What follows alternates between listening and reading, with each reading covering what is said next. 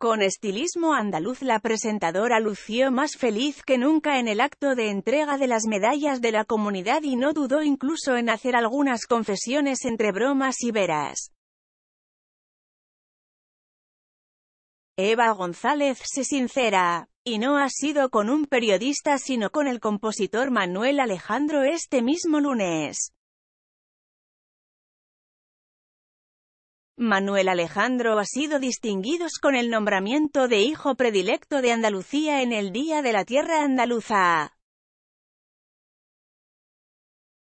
28 de febrero. El lugar elegido ha sido el Teatro de la Maestranza en la capital hispalense.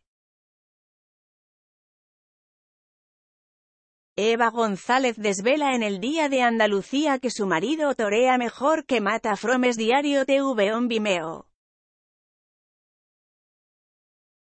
El letrista de Jerez de la Frontera ha abierto la gala presidida por el presidente Juanma Moreno Bonilla.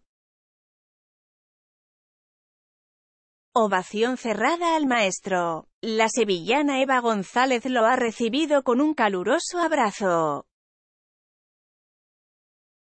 Alejandro ha querido ironizar con la conductora de esta gala preguntándole si Cayetano Rivera torea mejor o mata mejor. Entre risas Eva González ha contestado que torea mejor que mata, la presentadora vestida de verde oliva de su diseñado y amigo Antonio García rinde tributo a su Andalucía de la que pregona públicamente siempre que puede. Este lunes estaba más feliz que otros días. Al menos desprendía esa felicidad a los cuatro vientos. Hemos conocido que su marido ha ganado en los tribunales 309.000 euros por daños a su imagen cuando se le adjudicó una relación con una joven llamada Carely Rodríguez. El juzgado de primera instancia número 5 de Alcobendas le ha dado la razón al hijo de Carmen Ordóñez. Derecho al honor e intimidad personal y familiar y propia imagen se traduce en 300.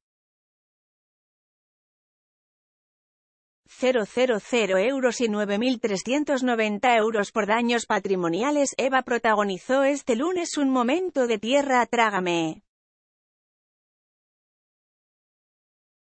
Al dirigirse al patio de butacas dijo los ministros y no los consejeros.